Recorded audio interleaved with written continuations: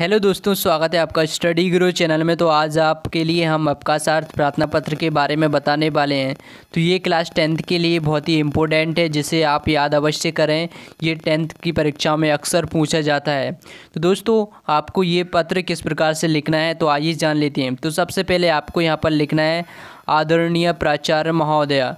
ये लिखने के बाद में आप अपना स्कूल का नाम डाल सकते हैं। तो यहाँ पर जो स्कूल का नाम है, इसे आप चेंज भी कर सकते हैं, आप अपने स्कूल का नाम डाल सकते हैं और आपका एड्रेस भी डाल सकते हैं। आपका स्कूल कहाँ पर है? और इसके बाद में यहाँ से आपको लिखना स्टार्ट करना है। विषय में आपको लिखना है आपका सार्थ प्रार्थना पत्रम। और इसके बाद में आपको यहाँ पर लिखना है श्रीमंता। श्रीमंता लिखने के बाद में आपको नीचे से स्टार्ट करना है सेवायाँ, शविनियम निवेदनम ईद यद हैम अद अक्षमाद। ज्वर पीड़िता अस्मि और अतएव विद्यालय अगंतु सर्वथा असमर्थ और अश्मि कृपया पच्चे दिवसाना बाद में अगर आप ब्रैकेट में डेट डालना चाहते हैं तो यहाँ पर आप डाल सकते हैं।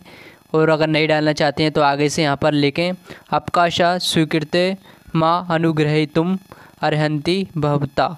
ये लिखने के बाद में आपको यहाँ पर दिनांक लिखना है और इसके बाद में भवदीय शिष्य भवदीय शिष्य के नीचे यहाँ पर लिखना है आपका जो नाम है और आप अपनी जो कौन सी क्लास में वो डाल सकते हैं।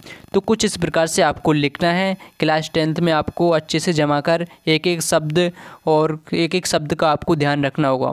तो दोस्तों, वीडियो पसंद आई तो वीडियो को लाइक करें, चैनल को सब्सक्राइब अवश्य करें, जिससे आने वाली लेटेस्ट वीडियो आप तक पहुँच सकें। थैंक्स फॉर वॉचिंग मिलते हैं नेक्स्ट अपडेट के साथ।